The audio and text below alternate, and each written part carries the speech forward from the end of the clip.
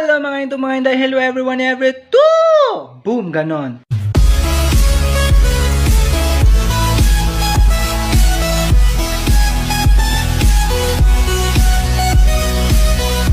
Hello mga indo, mga inday, hello everyone, every two. This afternoon, every afternoon, this month of April, magpiprepare kami ng pang-iftar ng boss namin. And ang guardian ko, I'm preparing suba grilled. So, ang grilled namin today is tilapia. So, kahapon ang grilled namin is tuna panga. And today is two pieces of tilapia. English na na ha. So, ang grilled na to karon tilapia. So, pang iftar ng mga guardians ko is one of this tilapia. So, every 5.50 sila mag-start magkain. So, every 4 to 4.30 nagsa-start na kami magluto para start din namin mag-prepare yung pagkain nila. Ayan. Magsuba na ako.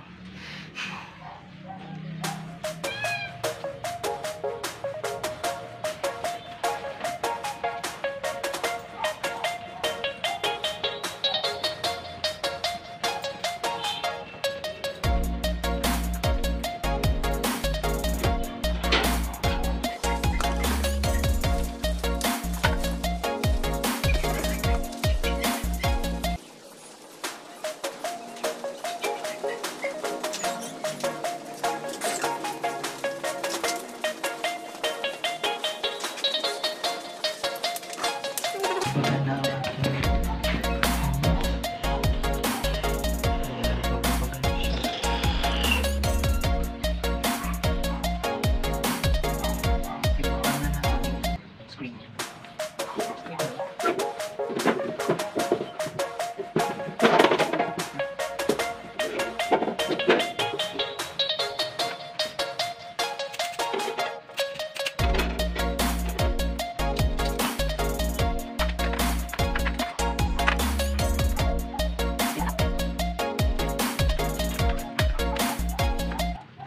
So, share ko lang, ang laman nito is may tanglad siya, tsaka may sibuyas dahon. Ganyan ako magsupa.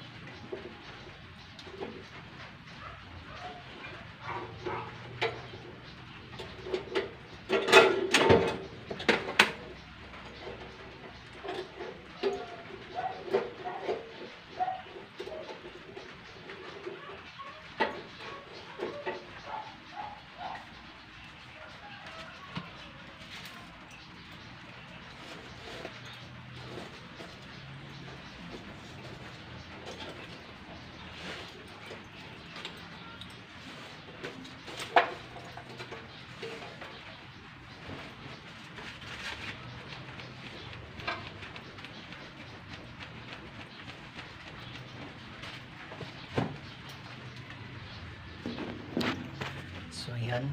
Nakahain na siya sa ating subahan. And medyo listen lang tong boses natin kasi alam mo naman pag puwasa yung mga guardians natin walang kain, walang lakas ayaw nila yung ingay kaya medyo tahimik, medyo listen na yung boses ko so ayan dalawang tilapia prepare din kami ng sabaw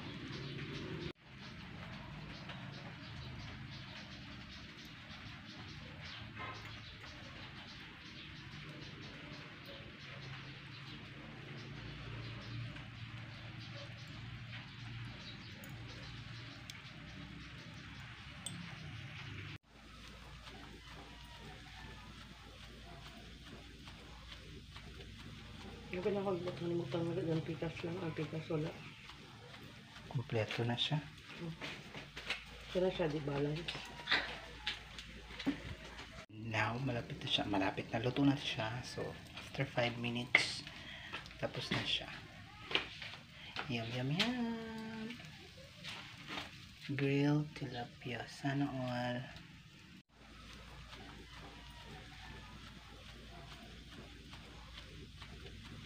Yung pinakaglot na mo ang pikas lang, ang pikas wala.